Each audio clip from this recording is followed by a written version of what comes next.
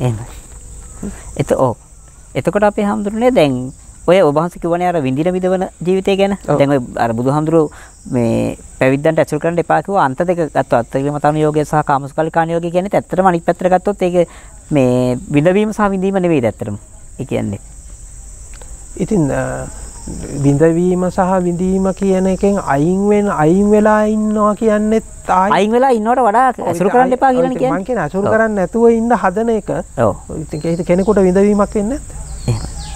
නමුත් ධම්මචක්කපවත්තන සූත්‍රය පටන් ගන්නෙම ද්වීමේ භික්කවේ අන්තා පබ්බජිත. මං කියන්නේ මෙහෙමයි. මනුත් දැන් ඔබට ඔබ ඔබේ පැත්තෙන් ගන්න. ඔව්.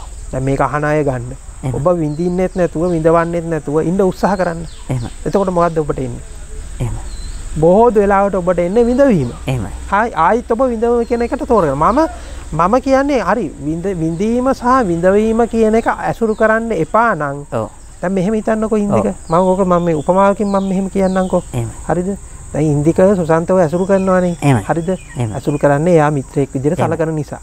එයා එයා ඔබට විශ්වාස කරන්න පුළුවන්. හරිද? ඉතින් ඔබට ඉන්දි ඔබ ඔබ සුසන්ත කිය මම උපමාවට ගන්න සුසන්ත කියන ස්වභාවය ඔබ දැනගන්න ඒක යථාර්ථය දැනගන්න. ඉතින් යථාර්ථය දැනගත්තට පස්සේ ඔබට ඇසුරු කරන්න ඕනි කියලා එකක් එනවද?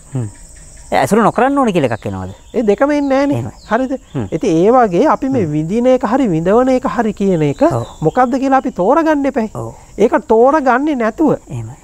ඒකෙන් අයින් වෙන්න හදනවා කියන එක ආයෙ විභව තණ්හා. නෑ දැන් ධම්මචක්කපවත්ත සූත්‍රය කියන්නේ ද්‍රීමේ බික්කවේ පබච්චිතෙන් සේවිතබ්බා කියලා කියන්නේ උබෝ අන්ත අනුක අනුපගම්ම මජ්ක්‍ධිමා ප්‍රතිපදා තථාගත ඒක තමයි මම කියන්නේ ඉන්දික. හුඟක් වෙලාවට මේක මිනිස්සු තෝරගන්නේ විභව තණ්හා. එහෙම එහෙම එහෙම. විභව තණ්හාවෙන් තෝරගන්නේ. ඒ කියන්නේ මේකෙන් අයින් වෙලා ඉන්න හදන එකේ.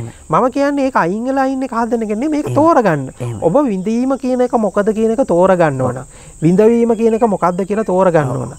ඒක වෙන්නේ කොයි ආකාරයද කියලා ඔබට තෝරගන්න ඕන. ඒ විඳීම විඳීම කියන එක තෝරගත්තට පස්සේ ඔබ විඳීම සහ විඳීම එක මේ ස්වභාවය තේරුම් ගන්න කියන. ඔය ස්වභාවයෙන් ඔබ අයින් වෙනවා. ඔබ තවදුරටත් විඳින කෙනෙක් හෝ විඳවන කෙනෙක් බවට පත් වෙන්නේ නැහැ. තේරුණාද මම මේ කියන එක?